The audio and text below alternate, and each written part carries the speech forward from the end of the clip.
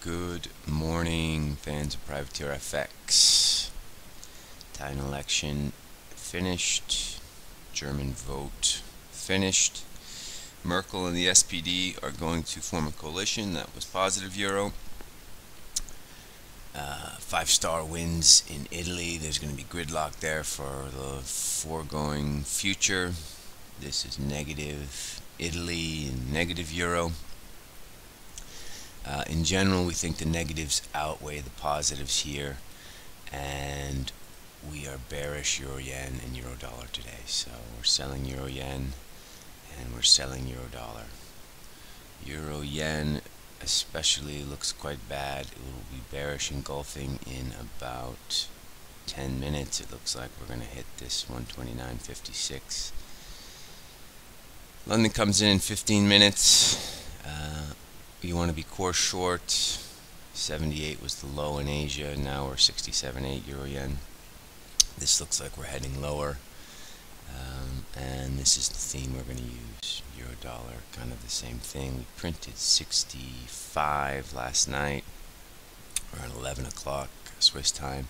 It's bearish engulfing below 122.51 still 40 points away but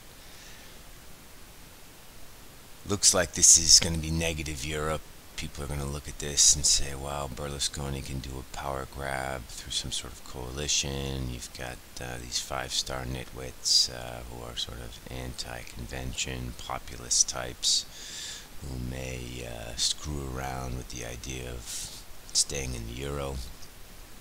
Uh, it's unclear, and none of them will have majority power, so it's hard to really figure out but we just get the feeling uh, the market is going to take this as a negative and we're not going to fight that. We'll just play on the negative side. So short euro dollar short euro yen.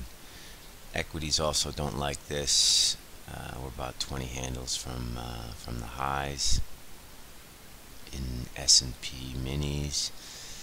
DAX which got crushed last week is going to open soon. We'll have to see where that's opening but uh, S&P is down 20 handles, so close to close to three quarters of a percent from the close. Cryptos are higher, just briefly. Trading at the high end of the range here, 11,500.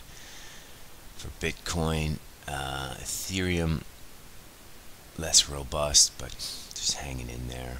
Same strategies. Uh, apply.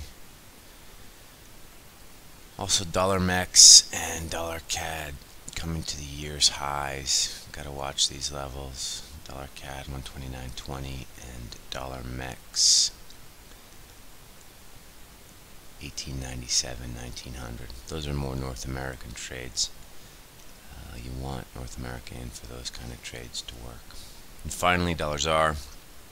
Uh, we're still core long same idea. This whole land appropriation thing is just going to get worse and worse and worse. And this whole move down from 1440 to 1140 was nice. It's kind of sweet, cute story. Zuma was gone, but when a new guy comes in and says we're taking land and we're not paying for it,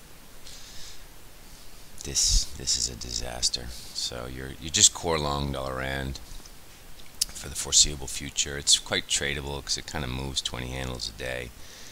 Um, and the big ad on this will be at 1220, which I don't think we're going to see today, but you never know.